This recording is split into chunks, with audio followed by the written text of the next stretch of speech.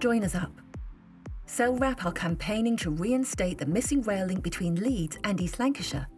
Just 12 miles of track would mean Colne to Leeds direct in just 50 minutes. The Airedale line is a modern and fast train service running from Leeds.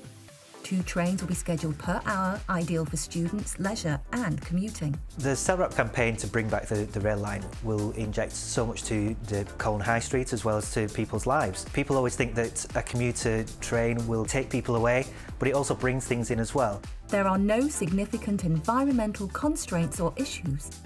A new train station will be built at Earby and improvements at Colne. The head office of Skipton Building Society, which is behind me now, is where 1,500 employees uh, are located. About a quarter of those reside in Lancashire, just a few miles over the border, and yet they are not served by a rail network. So it's really important for employment, uh, future job prospects. I think it would give a real boost to the local economy and ensure that Skipton Building Society remains a thriving organisation.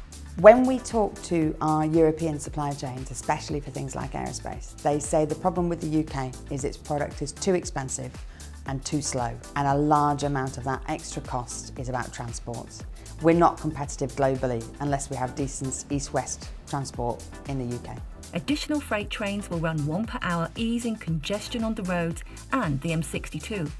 This will become a strategic freight rail corridor connecting coast to coast. We are generate enough renewable electricity to power over 4 million homes and we've been working um, with our partners across the Pennines and this route from Skipton to uh, Colne gives an alternative um, route to the uh, power station. It can increase the, the volumes that we can transport but that flexibility and reliability that ensures we have the continued supply.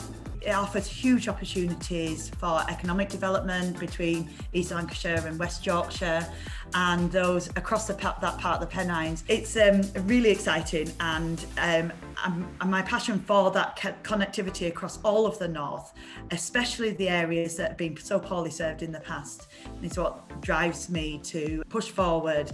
And if we can have local people behind us, that would be hugely advantageous.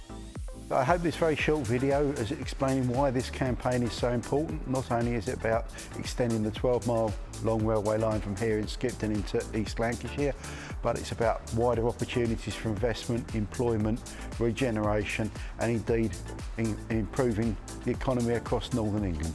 Join us now to join us up.